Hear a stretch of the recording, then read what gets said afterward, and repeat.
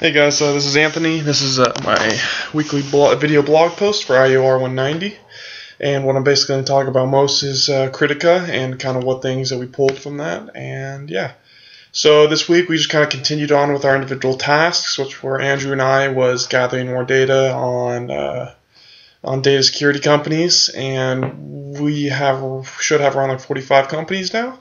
Our other teammates are working on the algorithm that's going to work on the back end of the whole site, and we have two members, Vidika and Kenny, working on the actual website, its presentation, how it's going to work on the front end, how it's going to look, all that type of stuff.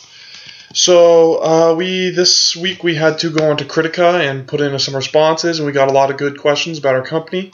Um, it was kind of weird that uh, we sent in our elevator pitch, and somebody shortened it down to about two lines and I think that caused kind of some confusion. Confusion. A lot of people were asking just about clarification, but we uh, we were able to focus on our main problem right now, which is our scalability.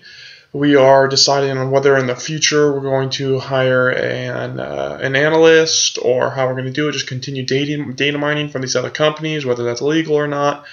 But we're going through these big um, big questions right now, and uh, we've been meeting again like twice a week. Um, they've been very helpful. Basically, now they're just checkups to see on how we're all doing.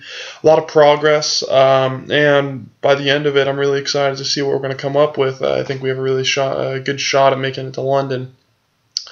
But uh, other than that, it's just uh, you know old business just as usual. So uh, thanks for listening, and see you next week.